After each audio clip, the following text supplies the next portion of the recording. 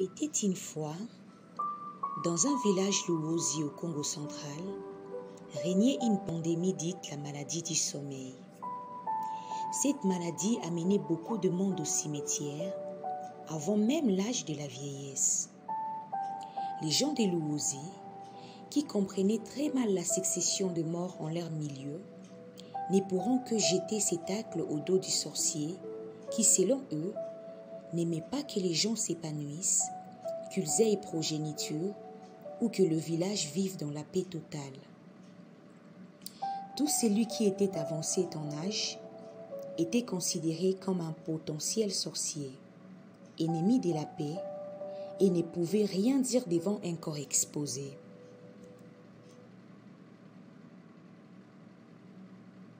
Un jour, la mort est entrée dans la maison du chef en tuant un jeune au nom de Matondo. Tout le village en a eu une grande douleur que le chef n'a pas hésité de dire à un vieux du village qu'il était l'auteur de la disparition de son fils Matondo. Comme ces vieux ne pouvaient accepter d'égober ses bêtises, il sollicita un recours pour aller consulter un féticheur qui s'est situé à 50 ou 100 mètres du village. La route était dangereuse.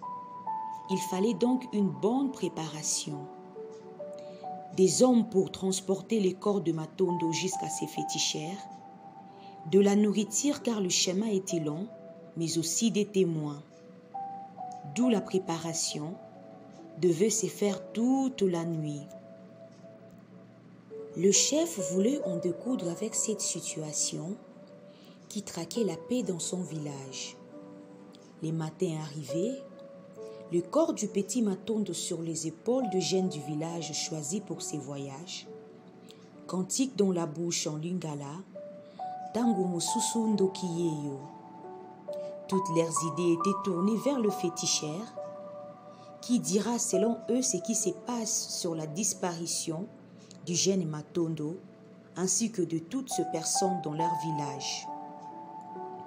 Ayant dans l'esprit que le féticheur émettrait la vie de ces petits, ils ont fait abstraction à tous les produits qui pouvaient protéger le corps du petit Matondo, afin qu'il ne pourrisse pas, car tout le temps, ces produits sont encore toxiques.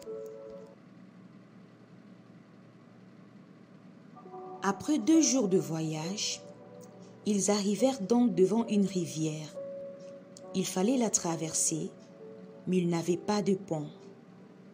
Par manque de pont, le corps du petit Matondo fut donc emporté par le courant marin. Le jeune du village se donc décidés de plaquer la barrière de gauche à droite pour empêcher au corps de passer. Après plusieurs efforts, ils finissent donc par retrouver le corps de Matondo. Le corps du petit Matondo était amputé d'une main, mais malgré l'état de ses corps, le jeune du village gardait espoir en la vie grâce aux fétichères.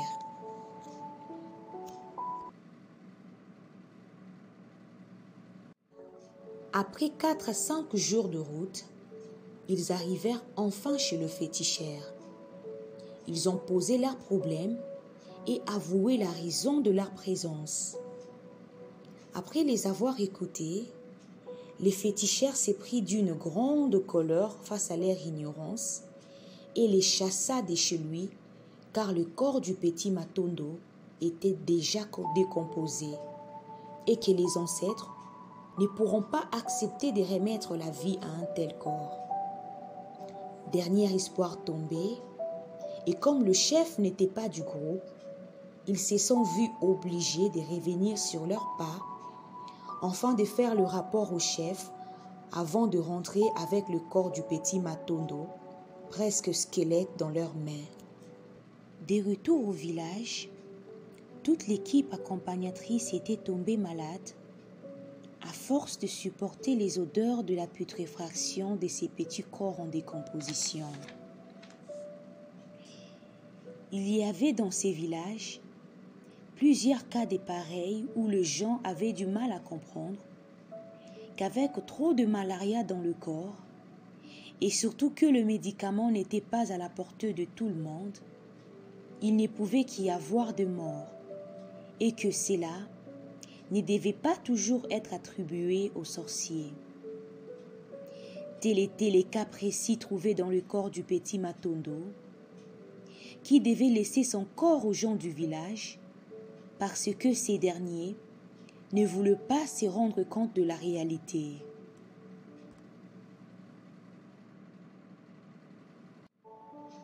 Après tous ces événements, les hommes de ces villages revenirent en état normal et se ressaisirent. Et depuis ces jours, le chef a donc compris qu'il n'était pas fameux de garder un corps sans vie, car ces derniers causeraient encore plus de maladies à ceux qui les surveillent. C'est ainsi que s'acheva cette histoire.